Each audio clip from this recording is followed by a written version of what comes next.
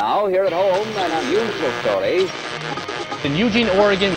Normal is not going to cut it anymore. I'm going to break out of the normal today, and I'm going to choose to pursue God with every fiber of my being.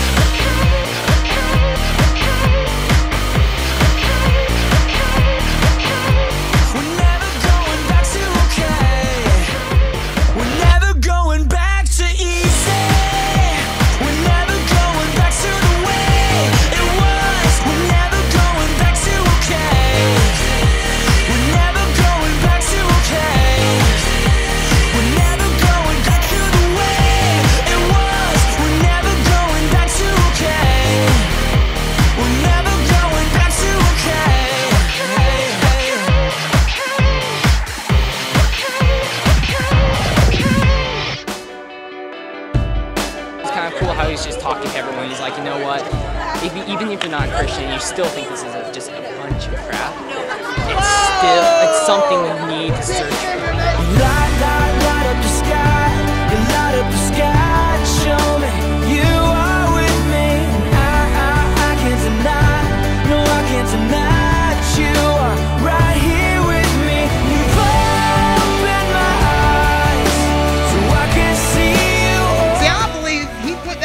In the middle of the garden so that he gives Adam and Eve a choice. Why? Because you cannot have real love unless you have a choice. You cannot have true love unless you have a choice.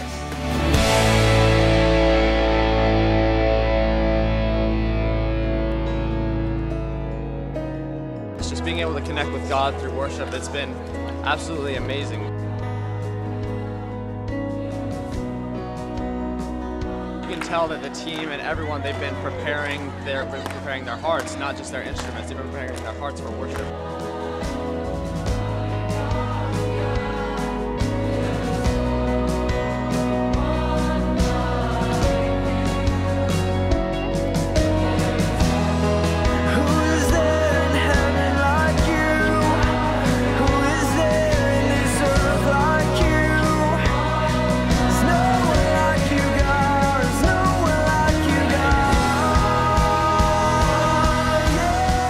I, I feel God throughout the whole place, and I always leave just feeling absolutely like the Holy Spirit's just running through me.